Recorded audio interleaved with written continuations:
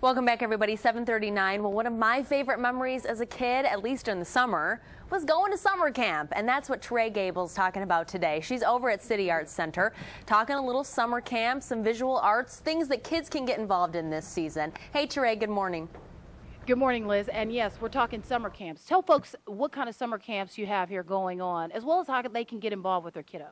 Well, we've got summer camps going on now till the end of August, and uh, that's going to be uh, pretty much all day long. And they've got painting and sculpture and weaving and all sorts of things going on.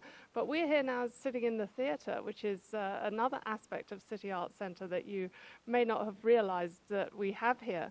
And uh, we have a film night coming up on the 21st of July, and it's we're screening the uh, documentary film called The Garden and uh, that was a prize-winning, uh, Academy Award-winning nominated uh, documentary in 2009.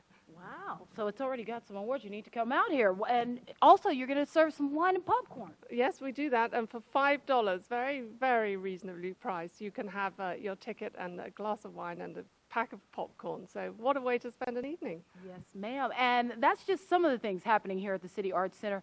Tell the folks some other great things. Of course, artists, local artists, as well as national artists in, in yeah. on deck. And international artists. We have a national artist uh, on display at the moment called uh, Jen Stark and an international artist called uh, Tessa Traeger.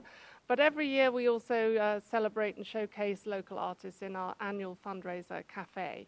And so that helps us keep our exhibits free and uh, also our classes really reasonably priced. For folks that are interested in getting in contact, knowing where you're located at, and of course, if they want to donate to help keep all of this free and open to the public, how would they do that?